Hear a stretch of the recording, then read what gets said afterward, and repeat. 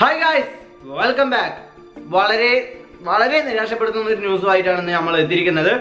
ജനുവരി ഒന്നാം തീയതിയാണ് I S എല്ലിന്റെ ട്രാൻസ്ഫർ വിൻഡോ ഓപ്പൺ ആവാനായിട്ട് പോകുന്നത്.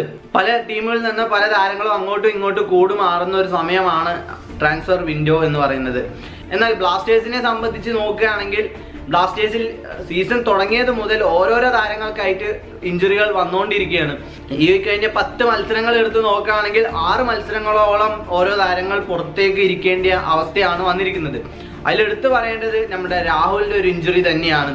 രാഹുലിന്റെ നവംബർ മാസത്തിൽ ബാംഗ്ലൂരുമായിട്ടുള്ള മത്സരത്തിന് ശേഷം പിന്നെ കളിക്കുന്ന ഡിസംബറിലെ അവസാനത്തെ നോർത്ത് ഈസ്റ്റുമായിട്ടുള്ള മത്സരത്തിലാണ് അദ്ദേഹം കളിച്ചത്. നവംബർ മാസത്തെ ബാംഗ്ലൂരുമായിട്ടുള്ള മത്സരം കഴിഞ്ഞതിന് ശേഷം പിന്നെ ഒരു ട്രെയിനിങ്ങിന്റെ ഇടയിൽ അദ്ദേഹത്തിന് ഒരു പേശിവലിവിന്റെ ഇഞ്ചുറി വന്നതുകൊണ്ടാണ് ആ ഒരു മാസത്തോളം ഏകദേശം ഒരു മാസത്തിന്റെ അടുത്ത് അദ്ദേഹത്തിന് പുറത്തിരിക്കേണ്ടി വന്നത്. എന്നാൽ നോർത്ത് ഈസ്റ്റുമായിട്ടുള്ള മത്സരത്തിൽ അദ്ദേഹം സെക്കൻഡ് ഹാഫിൽ ഇറങ്ങിയിട്ടുണ്ടായിരുന്നു. ആ ഒരു മത്സരം കഴിഞ്ഞ് ഇപ്പോൾ വരുന്ന റിപ്പോർട്ടുകൾ പ്രകാരം അദ്ദേഹത്തിന് ഈ ഒരു സീസൺ തന്നെ നഷ്ടമാവുന്ന രീതിയിലേക്കാണ് ആ ഒരു പരിക്ക് പറ്റിയിരിക്കുന്നത് എന്നാണ്.